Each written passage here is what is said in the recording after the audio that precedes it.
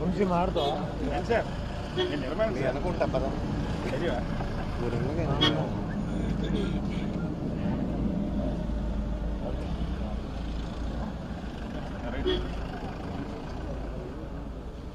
Sir ఏంటి sir గడప గడపకి మన ప్రభుత్వం కార్యక్రమంపై ఈరోజు రివ్యూ జరిగింది ఏంటి సార్ డిసిషన్ ఈరోజు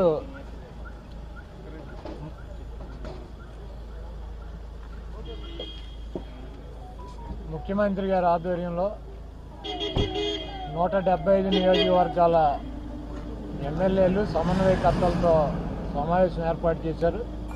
దాంట్లో మొట్టమొదటి అంశం రేపు పదహారో తారీఖు నుంచి ఎమ్మెల్సీ ఎన్నికల నామినేషన్లు ఉన్నాయి.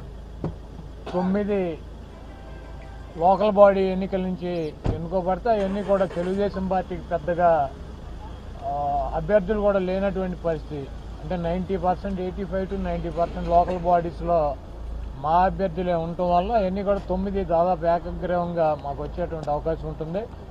మూడు పట్టభద్రుల నియోజకవర్గం నుంచి ఉన్నాయి. ఉత్తరాంధ్రకు సంబంధించినటువంటి మూడు జిల్లాలు. వెస్ట్ రాయలసీమ ఈస్ట్ రాయలసీమ రెండు పట్టభద్రుల నియోజకవర్గాలు. అదేవిధంగా రెండు టీచర్స్ ఎమ్మెల్సీలు కూడా ఎన్నికలు ఉన్నాయి. మొత్తం ఐదు కూడా ఎట్టి పరిస్థితుల్లో గెలవాలి. దానికి అనుసరించాల్సినటువంటి వ్యూహం దాని మీద ఆ ప్రాంతంలో ఉన్నటువంటి ఎమ్మెల్యేలను కానీ పార్టీ యంత్రాంగాన్ని కానీ లేకపోతే జిల్లా ప్రెసిడెంట్ని సమన్వయకర్తలని దృష్టి పెట్టాలని చెప్పి నూటికి నూరు శాతం వాటిని గెలవాలి గెలిచి మనం ఇంత పనిచేస్తున్నాం ప్రజలకి. అయితే ఇది ప్రజలకి సంబంధం లేనటువంటి ఎన్నికలు. కొంతమంది లిమిటెడ్గా టీచర్స్ కానీ అదేవిధంగా పట్టభద్రులు అంటే చదువుకునే వాళ్ళు లిమిటెడ్గా ఓటు ఉండేటువంటి అవకాశం ఉంది. కాబట్టి దాని మీద కొంచెం ఎక్కువ దృష్టి పెట్టాల్సినటువంటి అవసరం ఉంటుంది. జనరల్ ఎలక్షన్లు అయితే కనుక జనరల్ పబ్లిక్ ఓటేస్తారు. దానికి మనం బటన్ నొక్కి అనేక కార్యక్రమాలు చేస్తున్నాం. కాబట్టి మీరు ప్రత్యేకంగా దృష్టి పెట్టమని చెప్పారు. అవన్నీ కూడా గెలవాలని చెప్పారు. అట్లాగే గడప గడపకి నూట డెబ్బై సీట్లు గెలవాలన్నటువంటి ఉద్దేశంతో ఈ కార్యక్రమం నేను చేపట్టాను. మీరందరూ కూడా విధిగా పాల్గొవాలని చెప్పారు. కొంతమంది నాబోటేళ్ళు కొంత పర్సంటేజ్ తక్కువ ఉంది. దానికి కూడా రెక్టిఫై చేసుకోమన్నారు. మేము కుంటిగుడ్డి కుంటి గుడ్డి సాకులు చెప్పాం కానీ అవన్నీ ఆయనకు తెలుసు. కాబట్టి ఇంకా ఎన్నికల దగ్గరికి వస్తున్నాయి. మీరు దృష్టి పెట్టాలని చెప్పి చెప్పడం జరిగింది. నూట డెబ్బై ఐదుకి నూట డెబ్బై సీట్లు ముఖ్యమంత్రి గారు గెలవాలని చెప్పి పట్టుదలతో ఉన్నారు. అదేవిధంగా వైఎస్ఆర్ కాంగ్రెస్ పార్టీలో పోటీ చేస్తున్నటువంటి అభ్యర్థులు ఉన్న ఎమ్మెల్యేలు వైఎస్ఆర్ కాంగ్రెస్ పార్టీకి సంబంధించినటువంటి ప్రతి కార్యకర్త నుంచి ప్రతి నాయకుడి వరకు అదే దృష్టితో పనిచేయాలని చెప్పారు. నేనైతే పర్సనల్గా కొంతమందితో కొన్ని సర్వేలు ఈ I IPAC Andhrajyothi Radhakrishna BR BR Naidu వీళ్ళకి వెళ్ళిపోతున్నాయి మా సర్వేలని కాబట్టి మాకు కూడా వస్తూ ఉంటాయి కదా. మా శత్రువులకి వెళ్ళిపోతూ ఉంటాయి. అట్లా నాకున్నటువంటి దీంతో కనుక నేను చూసుకుంటే డెఫినెట్గా ముఖ్యమంత్రి గారు ఏదైతే కోరుకుంటున్నాడో నూట డెబ్బై నూట డెబ్బై సీట్లు నూట డెబ్బై ఐదుకి నూట డెబ్బై సీట్లు గెలవటానికి వైఎస్ఆర్ కాంగ్రెస్ పార్టీకి నూటికి నూరు శాతం అవకాశాలు ఉన్నాయి ఏదో చంద్రబాబు నాయుడు లేకపోతే ఆ పవన్ కళ్యాణ్ లేకపోతే ఈ పప్పుగడి లోకేష్ లేకపోతే ఏబిఎన్ రాధాకృష్ణ బిఆర్ నాయుడు ఇటువంటి పనికి మాలినటువంటి చాలా మంది సింహం లేకపోతే ఏనుగు రోడ్డు మీద నడిచి వెళ్తూ ఉంటే ఊరకొక్కలు మొరుగుతూ ఉంటాయి. ఏనుగు వెళ్తానే ఉంటుంది కుక్కలు వెనక పారిపోతా మొరుగుతూనే ఉంటాయి. అట్లా మొరుగుతూ ఉంటారు. ఉన్నది లేనట్టు లేనిది ఉన్నట్టు ఇక్కడ ఏదో జరిగిపోతుంది అని చెప్పి ఏదైనా నాకు తప్పించి ఆయనకి తప్పించి ఎవరికి తెలియనటువంటి ఇన్ఫర్మేషన్ కూడా పొద్దున్నే ABN Radhakrishna I-PAC team I-PAC వాళ్ళు సర్వే చేస్తారు. ఐపాక్ వాళ్ళు సర్వే చేస్తారు. ఎవడు చెప్పాడు ఐపాక్ వాళ్ళు సర్వే చేస్తారని? రాధాకృష్ణకి ఐపాక్ వాళ్ళు సర్వే చేస్తారంటాడు. ఐపాక్ సర్వే సర్వేలు ఐపాక్ వాళ్ళు చేయరు. ఐపాక్ వాళ్ళు స్ట్రాటజీ ఇస్తారు. ఐపాక్ వాళ్ళు ఎక్కడ ఎక్కడ ఎవరెవరు ఎలా ఎలా ఉన్నారు ఏంటి ఏం రెక్టిఫై చేసుకోవాలని చెప్పి నా- ఎలా పార్టీని నడపాలన్నది డైరెక్షన్ ఇస్తారు. అంతేగాని ఐపాక్ సర్వే ఆ సర్వే రాధాకృష్ణ అందటం అదేదో టీవీలో పెట్టి ఊరినే సొల్లు కబుర్లు చేయటం ఇటువంటి కార్యక్రమాలు చేస్తున్నారు ఇటువంటి దుర్మార్గపు ఆలోచనలు చేస్తున్నారు వీటన్నిటిని కూడా దృష్టిలో పెట్టుకోమని చెప్పారు.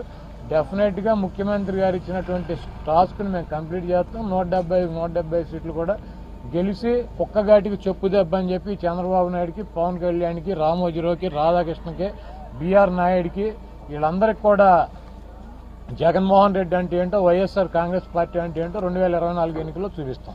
సార్ కొన్ని కొత్త కార్యక్రమాలు కూడా చెప్పినట్టు తెలుస్తా ఉంది. జగననే మా భవిష్యత్ అనే కార్యక్రమం కూడా మార్చి పద్దెనిమిది నుంచి స్టార్ట్ అదే మార్చి పద్దెనిమిది నుంచి తొమ్మిది రోజులు పది రోజులు ఆ ప్రోగ్రాం పెట్టారు. అంటే అది ఇప్పుడు గృహ సారథులను గృహ కన్వీనర్లను కొంతమందిని ప్రతి క్లస్టర్ అంటే ఒక సచివాలయంలో సచివాలయంలో ఉన్నటువంటి వాలంటీర్లు ఎంతమంది అయితే ఉంటారో యాభై ఏళ్ళకి మ్యాపింగ్లో దానికి ఇద్దరిని గృహ సారథులు పెట్టాం. ఇవన్నీ కూడా వీళ్ళందరితో ము- జగనన్న అంటే జగన్మోహన్ రెడ్డి గారు ఉంటేనే మనకు భవిష్యత్తు ఉంటుంది. జగన్మోహన్ రెడ్డి గారు వచ్చిన తర్వాత ఎటువంటి సంక్షేమ కార్యక్రమాలు చేసాం ఎటువంటి అభివృద్ధి కార్యక్రమాలు చేసాం ఈ వ్యవస్థలో ఉన్నటువంటి విద్యా విధానంలో కానీ ఆరోగ్య స- విషయాల్లో కానీ ఇటువంటి హాస్పిటల్స్ కొత్త హాస్పిటల్స్ తీసుకురావడం కానీ వీటన్నిటి మీద కూడా ఒక అవగాహన కల్పించి ఎటువంటి విప్లవాత్మక మార్పులు తీసుకొచ్చామన్నది గృహ సారథులు వాలంటీర్ల ద్వారా ప్రభుత్వం చేసినటువంటి కార్యక్రమాలను ప్రజల్లోకి తీసుకెళ్ళాలని గతంలో చేసినటువంటి దుర్మార్గ పాలన చంద్రబాబు నాయుడు గ్రాఫిక్స్తో ఎట్ట మబ్బి పెట్టాడు ఈ రాష్ట్రంలో సంపాదించుకున్నటువంటి డబ్బునంతా కూడా కొంతమంది అతనికి సంబంధించినటువంటి దొంగలకు ఎలా అప్పచెప్పాడన్నది వివరించి చెబుతారు. అదే జగన్మోహన్ రెడ్డి గారు ఉంటేనే జగన్ ఉంటేనే మన రాష్ట్రానికి మన భవిష్యత్తు ఉంటుంది అన్నది చెప్పే ఉద్దేశం ఆ కార్యక్రమం. సార్ గడప గడప ఎన్నికల కూడా ఏదన్నా అడ్డుపడుతుందని ఆలోచన ఎన్నికల కోడ్ అంటే మాకు రెండు రెండు జిల్లాలు లేవు. కృష్ణా జిల్లా గుంటూరు జిల్లా. అదేవిధంగా ఈస్ట్ గోదావరి జిల్లా కానీ వెస్ట్ గోదావరి జిల్లా కానీ ఇరవై మూడుకి ఇనానమస్ అయిపోతాయి పెద్ద పోటీ ఉండదు. లోకల్ బాడీ ఎన్నికలు వాటికి కూడా ఉండదు. అది కాకుండా ఈ గృహ సారథులను నియమించుకోవటం కావచ్చు మేము. లేకపోతే వాలంటీరు క్లస్టర్లో కన్వీనర్లు నియమించుకోవటం ప్రతి పది పన్నెండు సచివాలయాలకు సంబంధించినటువంటి మీటింగులు పెట్టుకోవటం ఇది ఎలా చేయాలి ఏంటన్నది ఒకటి వాళ్ళకి ఎక్స్ప్లెయిన్ చేసుకోవటం. వీటన్నిటికన్నా ముఖ్యంగా ఈ ఐదు ఎమ్మెల్సీలు కూడా లోకల్ బాడీస్ నుంచి కాకుండా మిగిలినవి ఉన్నాయి కదా. ఈ రెండేమో టీచర్స్ మూడు విద్యావంతులు. వాటిని గెలవటానికి కూడా దృష్టి పెట్టమన్నారు. అవసరమైతే ఎన్నికల కోడ్ మీరు తిరగలిగితే ఆ గ్యాప్లో తిరగండి. ముఖ్యంగా ఫస్ట్ ప్రయారిటీ ఎమ్మెల్సీ ఎన్నికలకి ఇమ్మని చెప్పి ముఖ్యమంత్రి గారు చెప్పడం వల్ల వీలైన చోట తిరుగుతారు. అంటే అంతకుముందు నెలకి ఇరవై రోజులు తిరుగుతారు ఈసారి ఐదు రోజులు పది రోజులు పదిహేను రోజులు అక్కడ ఉన్నటువంటి కంఫర్ట్ని తిరుగుతారు. ఎన్నికల కోడ్ ఏం పెద్ద అడ్డంకేం కాదు దానికి. లోకేష్ పాదయాత్రలో నాకు మా తాత గొంతు వచ్చేసింది ఎన్టీఆర్ గొంతు వచ్చిందని అంటారు సార్. నిజమేనా సార్? అర్థం పాత గొంతు వచ్చింది. ఇంకా నయ్యం రామారావు బతుకుంటే చచ్చి ఇప్పుడు సూసైడ్ చేసుకునేవాడు ఆయన. లోకే లోకేష్కి ఎన్టీ రామారావు మా తాత గొంతు వచ్చింది. అంటే వాళ్ళ కర్జూర నాయుడు గారి గొంతు వచ్చి ఉంటుంది. ఆ తాత అని చెప్పి ఈ తాత అని చెప్పి ఉంటాడు. మందమతి కదా అది చెప్ప ఇది చెప్ప ఇది చెబుతూ ఉంటాడు. వాడికి వచ్చింది కర్జూర నాయుడు అని చెప్పి బస్ స్టాండ్లో జేబులు కొట్టేవాడు వాడు ఉండేవాడు అని చెబుతారు కదా అతను వచ్చి ఉంటుంది. సార్ యువత ఉద్యోగస్తులలో ప్రభుత్వం పట్ల వ్యతిరేకత ఉందని చెప్పి బాగా వాదన ఉంది. సో ఈ గ్రాడ్యుయేట్ టీచర్స్ ఎమ్మెల్సీని ఎలా ఫేస్ అయిపోతుంది అంటే వాదన అంటే ఇప్పుడు టీచర్స్లో వ్యతిరేకత ఉంది. లేకపోతే గ్రాడ్యుయేట్స్లో వ్యతిరేకత ఉందని చెప్పేది ఎవడో ఎక్కడన్నా టీచర్స్ వచ్చి చెప్పారా మీకు? టీచర్స్ వచ్చి చెప్పారా? టీచర్స్లో అనేక రకాల యూనియన్స్ ఉంటాయి. వాళ్ళకి తెలుగుదేశానికి అనుబంధ యూనియన్ ఉంటుంది వైసీపీకి అనుబంధ యూనియన్ ఉంటుంది అదేవిధంగా కమ్యూనిస్ట్ పార్టీలకు అనుబంధ యూనియన్ ఉంటుంది వాళ్ళందరూ కూడా నూటికి నూరు శాతం టీచర్స్ ఒక పక్క ఇప్పుడు ఉన్నారు ఎప్పుడు కూడా టీచర్స్ ఏ ఎంప్లాయీస్ యూనియన్ కావచ్చు ఏది కావచ్చు దాంట్లో మూడు నాలుగు యూనియన్లు ఉంటాయి. కమ్యూనిస్టుకు సంబంధించింది కాంగ్రెస్కు సంబంధించి తెలుగుదేశానికి సంబంధించింది రకరకాల యూనియన్లు ఉంటాయి. దాంట్లో కొంతమంది సభ్యులు దీంట్లో కొంతమంది సభ్యులు దీంట్లో కొంతమంది సభ్యులు ఉంటారు. మాకు వైసీపీకి కావాల్సింది మెజార్టీ ఓటు. మాకు కావాల్సినటువంటి మెజార్టీ ఓటుకి కావాల్సినటువంటి బలం మాకుంది. నూటికి నూరు శాతం ఓట్లేమి మాకు రావు కదా. అలాగే విద్యావంతుల్లో కూడా నూటికి నూరు శాతం ఏ పార్టీకి రావు. ఏ కులంలో కావచ్చు ఏ ఊళ్ళో కావచ్చు నూటికి నూరు మాకు ఎంత బలం అయితే కావాలో ఆ యాభై శాతం పైన మాకు గెలుస్తాం. Sir YS Vivekananda